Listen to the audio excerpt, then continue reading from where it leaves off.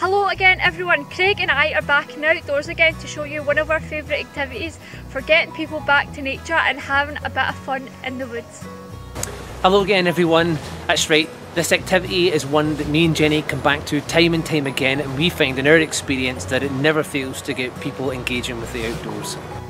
We call this activity Critter Homes and all you need to take part is an outdoor space and if you like a small toy animal to represent your critter. This activity can honestly be done in any green space you can think of, whether it's your back garden or your local woods. By yourself or with your family, either way it's a great bit of fun.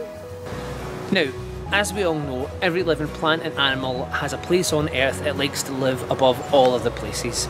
In the outdoors we call that a habitat, but most people will be more familiar with the term a home.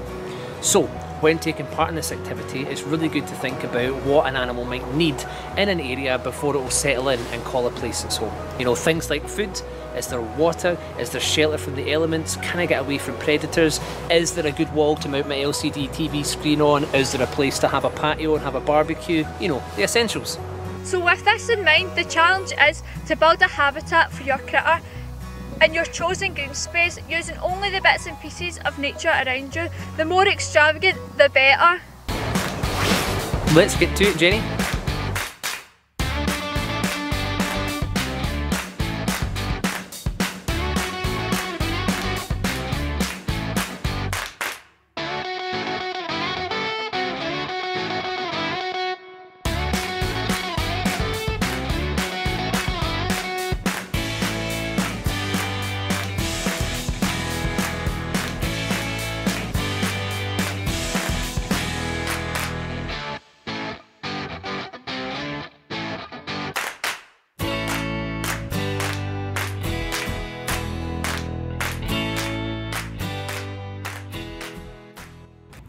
Everyone, so I've just finished building um, my little critter home.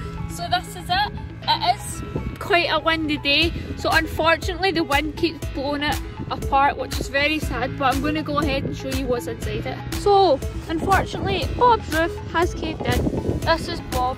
Say hello, Bob. Hello. This is Bob's food. Likes to eat this, and then this. Over here is Bob's bed, nice and cosy for Bob to lie on at night, like this. He's got his little toy in his mouth and then he's got his flat screen TV. Okay guys, so that's me finished my critter home. Um, this is my wee critter here that's been borrowed from my cats at home just to make it a bit more fun. He's got a nice big box where he can store things that nobody else can get to because only he can get in amongst the gaps so he can store his food and whatnot there. He has a, a moss rock which he can sit outside and sunbathe on. He's got an overhead projector area so he can play all his games and watch his movies with his friends. An outdoor patio, of course, for barbecues. Um, he's got a wee extended roofline here and veranda. Um, a lean-to shelter covered with leaves for waterproofness.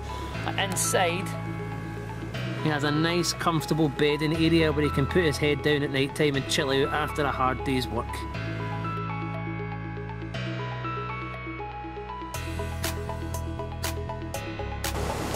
So, what did you think of the activity, guys? One of our favourite things about this activity is that everything you've made can be left in place for others to appreciate, for you to come back to and build on again, or even, who knows, for a critter to move into.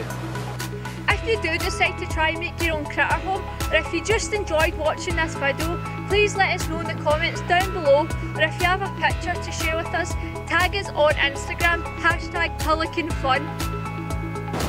Thanks again for watching everybody and we'll see you in the next video. Bye! See you next time, bye!